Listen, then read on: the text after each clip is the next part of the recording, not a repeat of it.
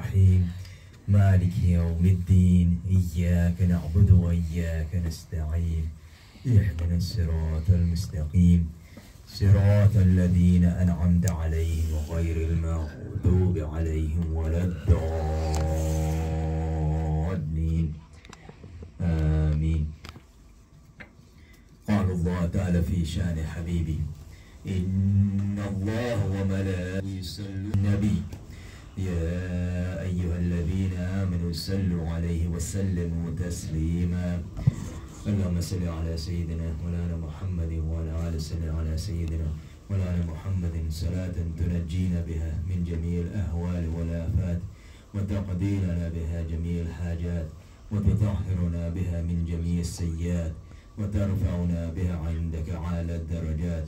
وتبلغنا أقصى الغايات من جميع الخيرات في الحياة وبعد الممات. إنك على كل شيء قدير. صلاة وسلاما عليك يا سيدي. يا رسول الله.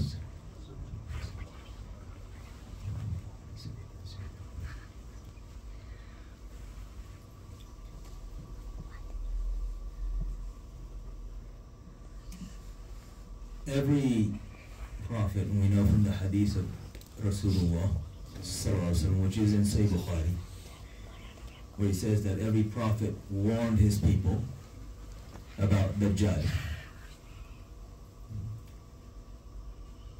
And in the hadith then he specifies that indeed Nuh warned his people. And then he says that I tell you something that they did not tell, which is that he is one-eyed. And know that, that Allah is not one-eyed. This, of course, is metaphorical. And the reality of Dajjal also is that he is one-eyed in that one of his eyes is, is bad. You know, like a grape, as described by Rasulullah. Many interesting aspects of this that relate to everything that we see today.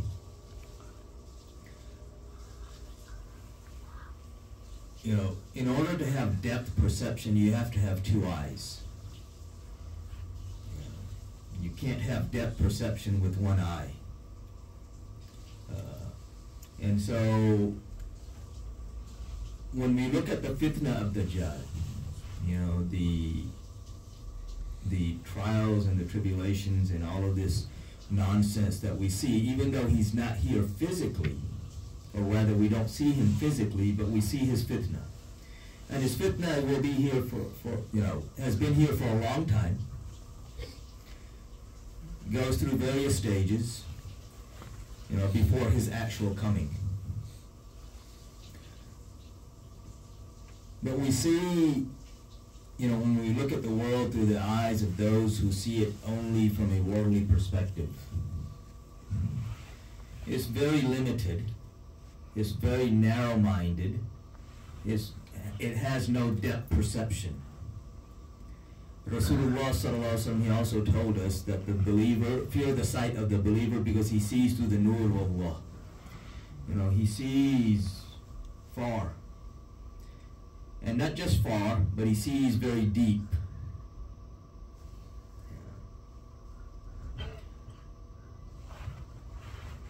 He doesn't simply look at the surface of what's going on or the surface of things.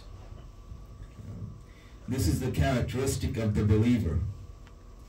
Whereas, again, the Dajjal being one-eyed, he has no depth perception, so he can't see deep.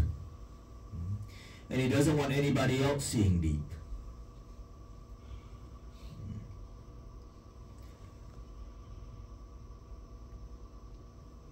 And that love of this world blinds that people that follow this mindset so much that even when things are obvious, when things are right in front of them, they can't see it. But then again, you know, it gets back to Allah subhanahu wa ta'ala's guidance in reality. You know, whom He guides, again, those are the believers. And those are the ones who see through His nur. And so they see things very clearly. Uh, and this is why Allah subhanahu described the beautiful face of Rasulullah as, as duha, what duha, when he swore by this majestic, beautiful face of Rasulullah he said that he swears by duha, duha being the time in the morning when the light is very clear. You know, you can see things like when early morning, you know, you can't really see things very clearly. Easy to mistake things. But then as the sun comes up even further, now you see things very clearly. But duha is that time when you see things clearly, everything's bright, but it's not hot. Everything is pleasant. You know? The morning is still very pleasant. This is the analogy to the face of Rasulullah Whoever sees him, whoever looks upon him with love and affection, Allah subhanahu wa ta'ala gives him the sight to be able to see things clearly with no distortion. This is also why when Dajjal comes, it will be written on his forehead, Kafir. But not everybody will be able to see it. Only the believers will be able to see it. And even those believers who are illiterate will be able to see it and know what it is. But all of those who have no faith, who have no guidance, they will look at him and they will see nothing.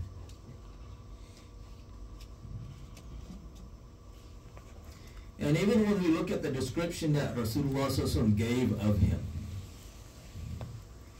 uh, a few points here to understand. Well, Dajjal, of course, he is Masih al-Dajjal. He is the appointed one, and Dajjal meaning deceiver.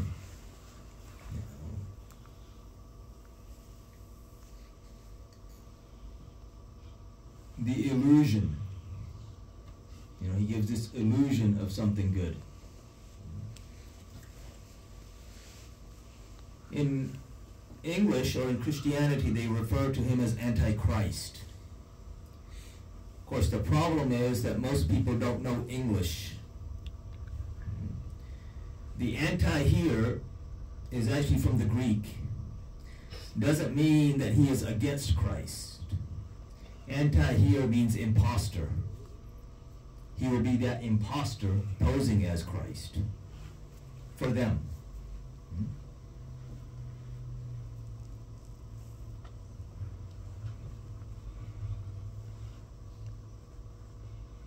he again will for those who have no faith everything will become distorted which it already is and Allah subhanahu refers to various people as summun bukmun umyun fahum la yarji'un. Deaf dumb and blind. Without guidance.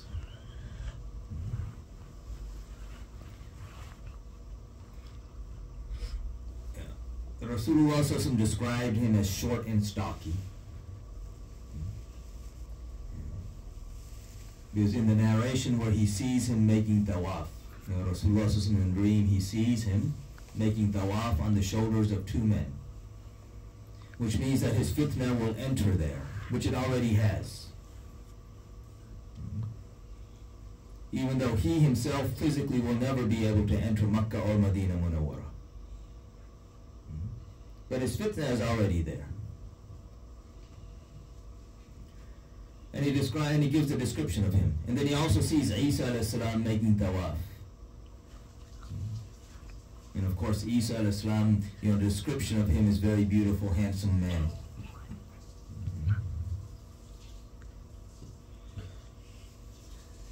Yet when he comes, the masses will follow Dajjal. You know, another important thing to remember that most of us also forget when we talk about Dajjal is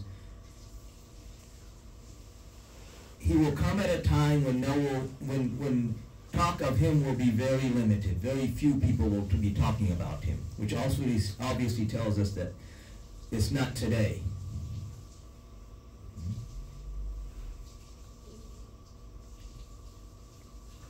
But that goes for both non-Muslims and not Muslims who will not be talking about him much. Muslims will not be talking about him very much because he's going to come after the appearance of Imam Mahdi. You look at the narration, the hadith, you know, when Imam Mahdi comes, you know, he will defeat that army, and then he will go and con- conquer Constantinople. And there will be no fighting when he conquers Constantinople. He will say takbir and one of the walls will fall, and he'll say takbir and the other wall will fall, and the people will be ready to accept him. But then his army will lay down their weapons thinking, oh, things are, uh, everything's at peace. And then a caller will call out that the Dajjal has come and he's taken his place with your families. And when they come out, they'll find out that it was a lie. But then he, shortly right after that, then he will actually come.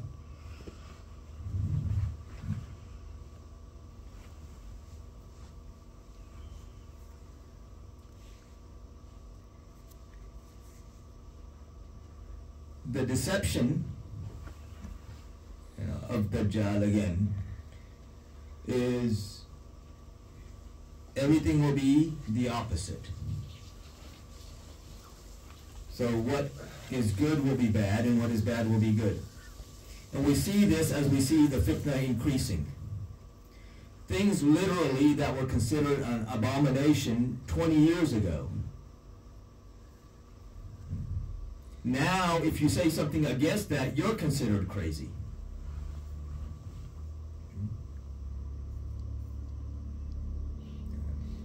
I mean, we're seeing this happen in front of us.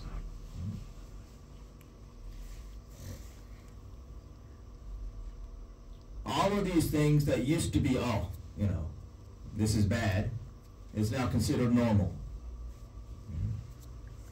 And things which were normal are now considered bad.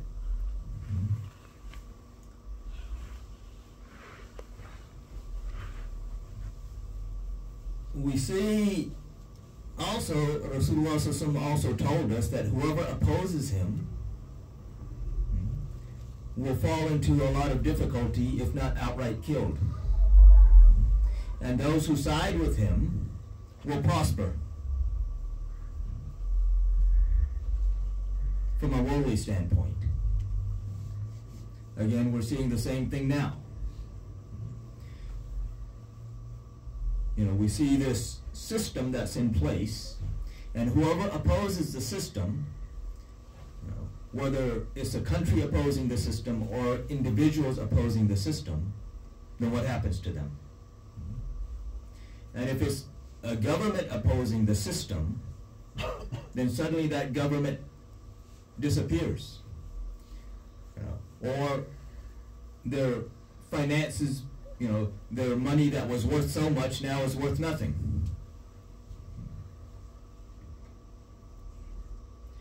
He will control the food supply.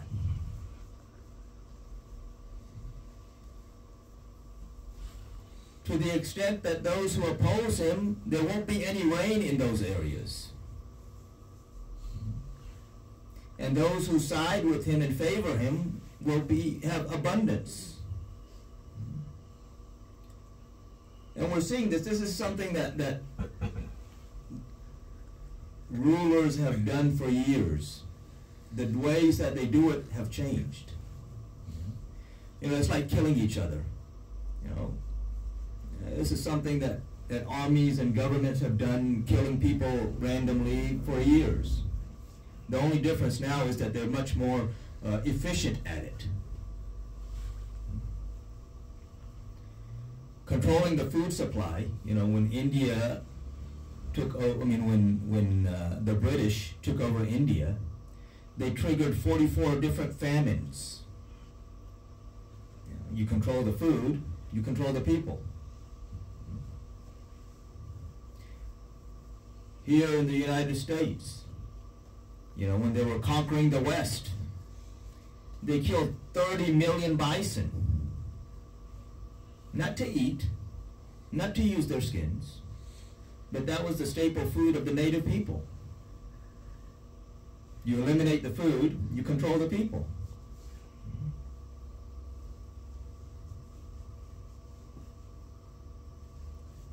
You know, we look at what they did in the Middle East, in North Africa.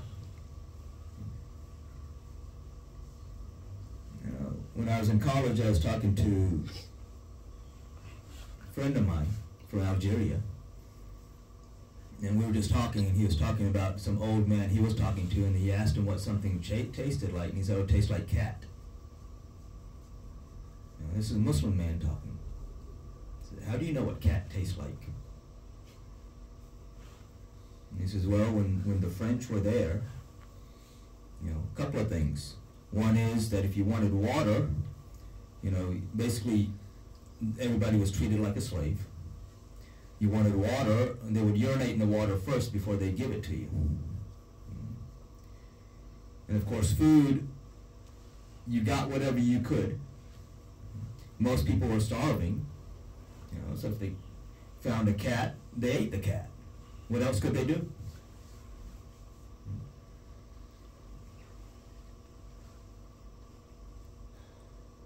Yeah.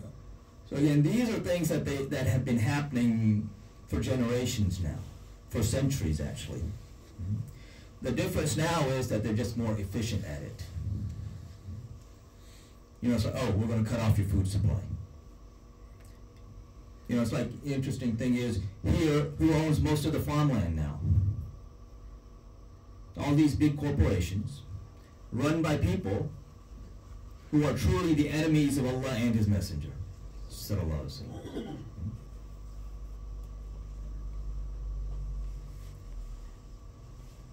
You know, they not only own the farmland, they own the seeds.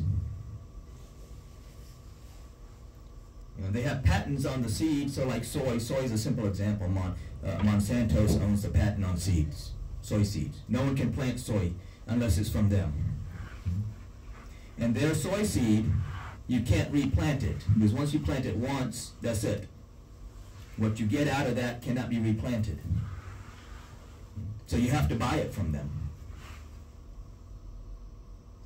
The same thing that they're doing with various other crops.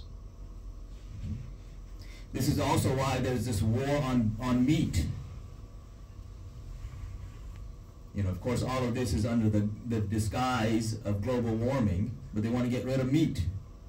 Everything's got to be, you know, plant-based because the plants are easier to control.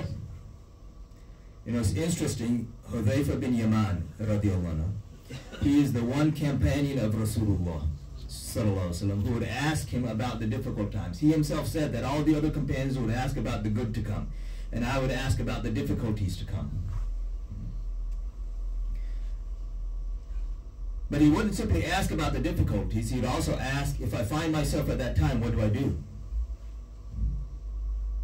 And Rasulullah when he was telling him about all of these difficult times to come, and especially what we're seeing today, he said, what do I do?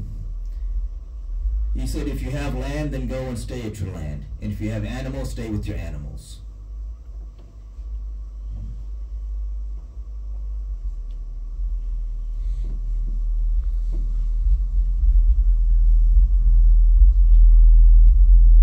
You know, we see what they're doing. And again, this is this is simply an introduction to the fitna of Dajjal, is what we're seeing today. This is practice run for when he, you know, when he shows himself, when everything is set for him. This is just practice run. You wipe out a whole people like it's nothing. Again, control the food, control the water, control everything. To the extent if someone says anything, you know, you cancel them. Like they don't exist.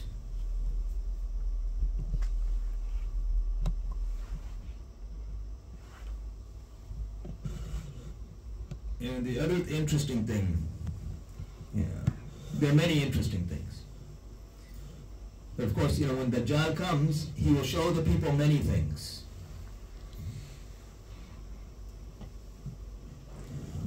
Miracles. You know, the problem in English is that, uh, you know, if you want to talk about something that should be impossible that happens, the only term that, that, that exists really is a miracle. Yeah. In Islam, we have various terms, depending on who's doing what. You know, everything is under the control of Allah. But of course, you know, if a prophet does it, it's mu'jiza. If the follower of a prophet does it, it's kirama. And the interesting about kirama is that the kirama is in line with the miracles of the prophet that he follows. And the Quran shows us this in the in the story of Sulaiman alayhi salam. You know, when we read the story, when when you know the throne of Bilqis is brought to the court of Sulaiman alayhi salam, first, you know, Ifrit, the type of the huge jinn, he said that I will bring it before you dismiss your court. And then Asif bin Barkhia, his name is not in the Quran, but we know from hadith that his name was Asif bin Barkhia, who is this companion of Sulaiman alayhi salam. He, say, he says, I will bring it before you're even able to look. And Sulaiman alayhi salam, or I I will bring it before you blink your eye. And when Sulaiman alayhi salam looks, it's already there. And Allah mentions about Asif what? He says that he has he had some knowledge of the book.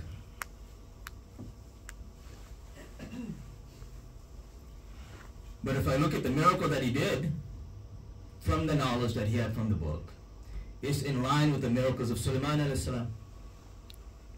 You know, we read the various miracles that Sulaiman salam performed.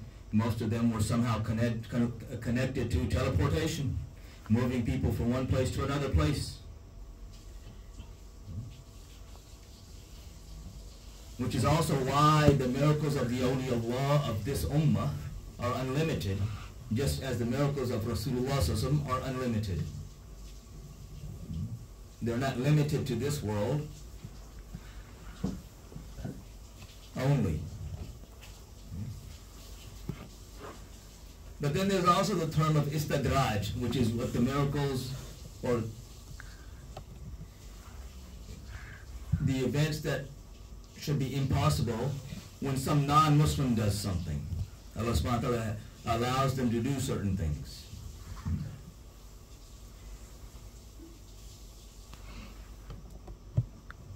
There's mu'awanat, which is where a common Muslim, Allah subhanahu performs something because of a common Muslim, something that should be impossible. But then there's ahanat, which is where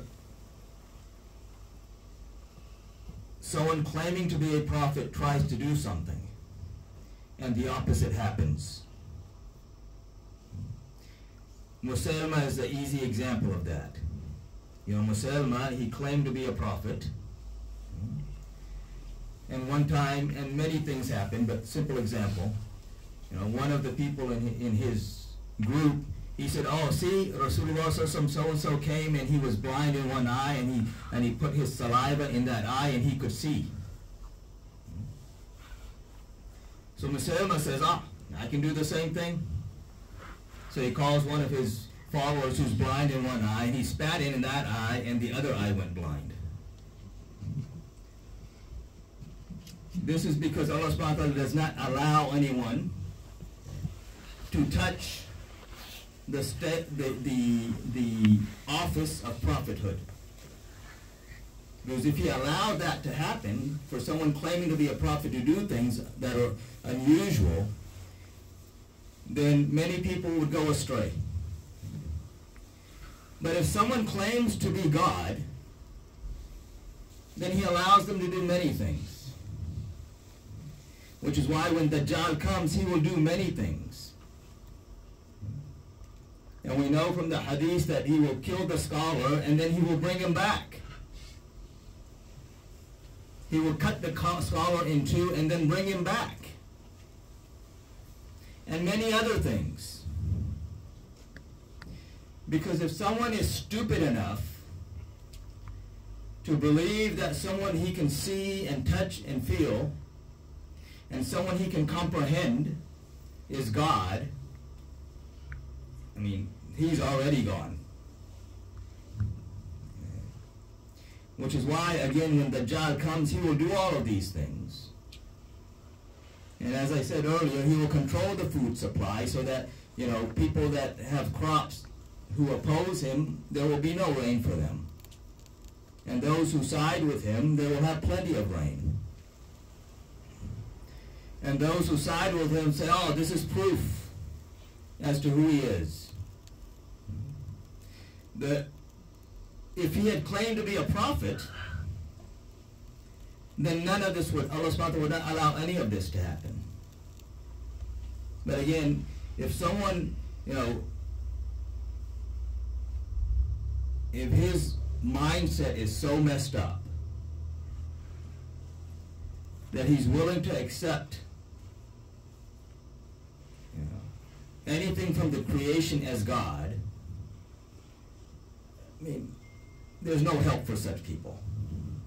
Which is why subhanahu says, if you want to go that way, go that way. But we're seeing again all of this play out. What do they do? First thing, anyone who opposes them, we're cutting off your food, we're cutting off your electricity, we're cutting off your water.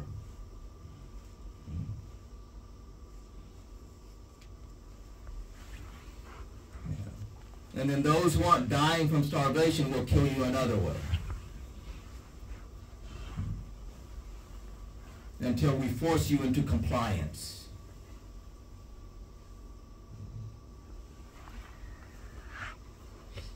The more dangerous aspect than this, though, is those of us who aren't going through any of that, who have this illusion that, oh, we're safe, and because we're safe, you know, this is only there, this is only them. We become complicit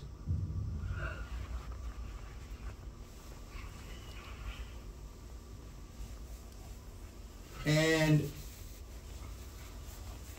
we also start justifying or rather siding with those who are complicit even if we don't justify it we side with those who are complicit even though in reality, even those that are complicit aren't really complicit by definition. Complicit simply means, okay, you're not doing anything. Those that are claiming to be complicit, or even those that are being accused of being complicit these days, they're actually helping the other side.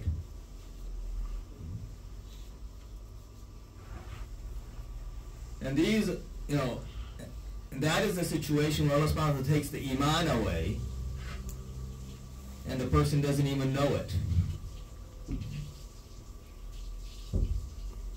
You know, if someone is disrespectful to Rasulullah, so, claiming to be Muslim, Allah subhanahu takes his iman and he doesn't know it, which means he can't make tawbah. Read Surah Hujurat, it's right at the beginning.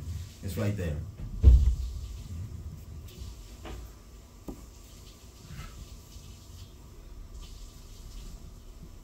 and to not care about the ummah of Rasulullah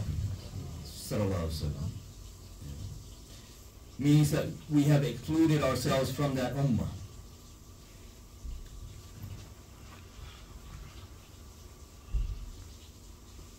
This is also why Rasulullah told us you know, to make dua for the protection from the fitna of Dajjal. Because this is again what we're seeing. He also told us to read Surah, Surah Kahf in the first 10 verses or the last 10 verses or the first 10 verses and the last 10 verses for protection from Dajjal. But it helps to understand what the connection between those verses and the Dajjal is. Because most people, when they read the verses, they don't see any connection. And I don't have time to go into that. Maybe I'll go into that next week, inshallah. We'll see. But may Allah subhanahu wa ta'ala protect us and protect our brothers and sisters in Gaza and in Palestine, throughout Palestine. Because everything's a deception. Everything, you know, there's something going on behind the curtain. And while they're doing one thing over here, they're doing many things very, every place else. So many laws have been enacted, even in the World Health Organization.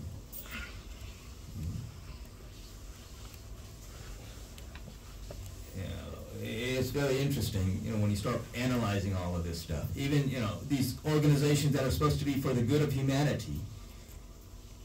Of course, anything appointed by the UN is not for the good of humanity. And the World Health Organization is also a branch of the UN. You know, people think the name, oh, you know. But all these laws that are being enacted has nothing to do with what's good for the people, but has everything to do with controlling everyone and making the people do what they want them to do. You know, when COVID was going on, the bombings in Yemen, the bombings in Sham, the bombings in the Muslim world never stopped. In fact, they increased. The goings on, you know, in Sudan and, and various other aspects or places never stopped, but they increased. Everything was used as a cover to do something else. So may Allah subhanahu allow us to open our eyes of the heart and to be able to see these things and give us protection and protect our brothers and sisters in Palestine and Kashmir and every place else where the Muslims are being oppressed. Uh, and may He protect those who are being oppressed and may He destroy those who are oppressing. Uh, and may He fill our hearts with the love of His truth, of His His family, His companions, and all of those whom they love. Those who have not made sunnah go and make sunnah.